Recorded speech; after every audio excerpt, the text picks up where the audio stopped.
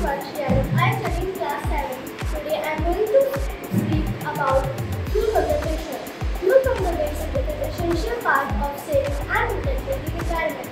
The smoke and gases produced due to the combustion of the box. As it is famously said that small small steps add to big results. And so is with our environment. Now if we start we start to conserve fuels, then it may cause a big harm environment. God gifted us many. He made the world and our planet Earth. On Earth, we humans are undoubtedly dependent on various things. We are also dependent on fuel, aren't we? Yes, we are dependent.